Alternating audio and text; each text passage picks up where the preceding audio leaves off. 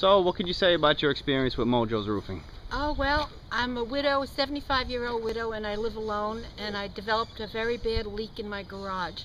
I had five different estimates. They told me all kinds of stories. One man said he'd just patch it, and finally, my son in law, my grandson, recommended uh, Mike, and he told me, Your roof is so bad, you have to do the whole roof.